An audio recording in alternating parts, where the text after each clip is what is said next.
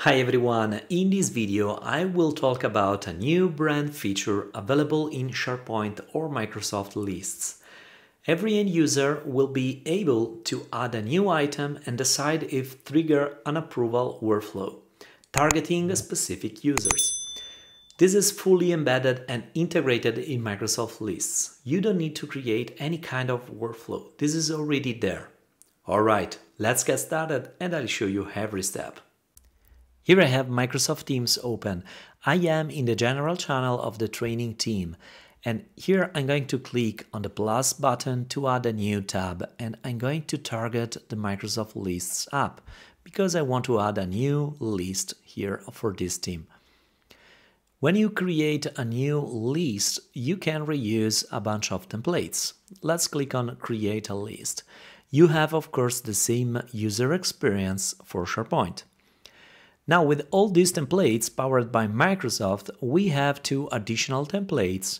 This one, travel requests with approvals and content scheduler with approvals. This word means that there is an approval workflow already integrated in the list. You don't need to create an extra Power Automate flow or a Logic app flow for that. When you click on this one, for example, travel requests with approvals, which is the one that I want to implement for my team, we can see that there is a new column here in this template available called approval status, which will contain the current status of my approval step, not submitted, requested, rejected, or approved. You can change this status. Now let's click on the button Use Template. I'm going to be original by leaving the name and color and icon for this list. Let's click on Create and now that I have this new list created, a very good approach and a very good best practice here is to add two hidden columns. To do that, I'm going to click on Add a new column and here there is a link, Show or Hide Columns. When you click on it, you will see these two additional columns, one called approvers, and I'm going to move this just next to the approval status, and then there is another one which is called responses. These are very useful to keep track of approvers and about the response of the approver. Now that I added these two extra columns, I can click on the button apply and now my two New extra columns are here available next to the approval step status. It's time to add a new item in this list. Alright, I added a new item, I can click on the button Save and now I have my item added in my list. In the approval status, I have this status not submitted. This is a clickable link. If I click on it, this opens a, a new panel and here give me the chance to start me my approval request.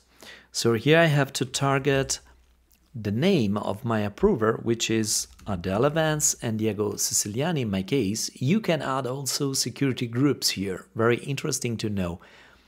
And another thing to keep in mind is that this requires a manual step. It's not possible to add at the moment a predefined approvers values. So it means that every time you have to re-add the approvers. Here I can type something in detail. Now let's hit the button submit. And now this will trigger the approval workflow behind this list. I was curious to see if this was placed in Power Automate as a new flow or um, as another flow in Logic Apps or in Azure, but there's no documentation that explain uh, where this workflow ran really in which kind of infrastructure. But i assume this is in the backstage. We have no access to the workflow. It means that we cannot change it. Now that i created a new approval workflow by clicking on the button submitted and opening the panel uh, the status is changed. I have requested now the approvers is Adele Vance. I have not yet response here because Adele Vance has not yet approved. Now, if I open the Adele Vance Microsoft Teams instance, I can see in the activity feed that there is a new, a new notification here coming from approvals. every new workflow request will trigger the approvals app in Microsoft Teams. Important to know is that the, the request comes directly from SharePoint. This is the use case when you use such list templates with approvals steps integrated. Now I can see here as a recap that I have the status requested and pending response, Diego and Adele. Now as Adele, I can say, for example, OK, and I'm going to approve this request. What I'm gonna do right now is going back to my view as a requester. I can see that now there is changed is Diego Siciliani. It's pending on Diego. The status it's still requested. But what happens if I change something in this list item because maybe I made some mistake? It's not New York, but here it's Paris.